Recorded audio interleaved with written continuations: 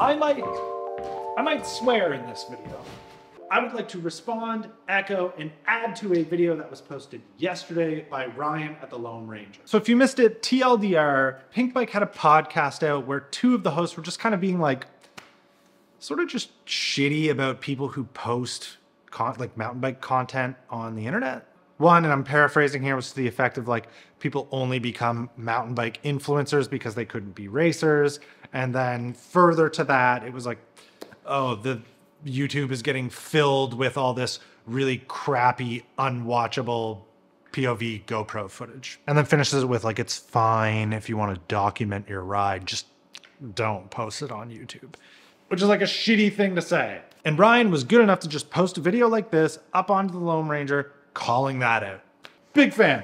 No surprise, really. Some negative, elitist, pet peevy thing was said, and they got called out on it. It's just a kind of a crappy thing to say. It has a negative effect on some of the people who might aspire to do what you guys do. So maybe don't put people down. Now, I would like to echo the end of Ryan's video by saying, yes, yes, you should post your mountain bike videos. If you're starting out riding mountain bikes, you think you want to make mountain bike videos, uh, you just want to document some trails in your area, you, uh, I think you would actually be surprised by how well received a lot of that will be over time. Maybe not right away, but as you build your character on your YouTube channel, people learn who you are. They see where you're at, they see where you progress to, and that is exciting. That's a lot of the fun of YouTube.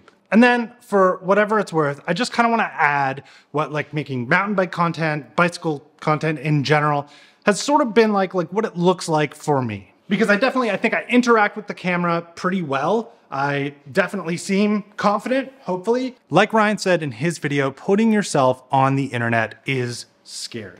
And even now, after like 700 or 800 videos, I still, oh, when I'm going to hit upload, I'm like, I don't know. And I think that at any moment, if I was to like hear someone at a larger media company say something like, hey man, just, just don't bother with that.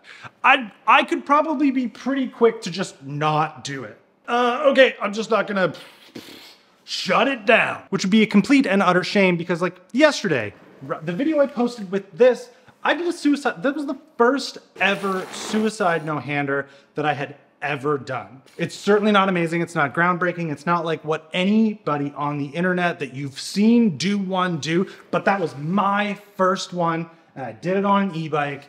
I am proud of that. And it's kind of a shame to think that someone could make me lose that pride, lose that hype, and not want to show it because it, you know, maybe it was, it's, eh, it's not good enough.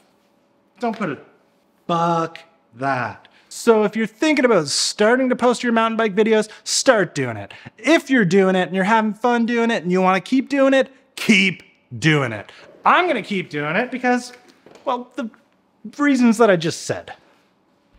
Ryan, nice job on a very well thought out video. Uh,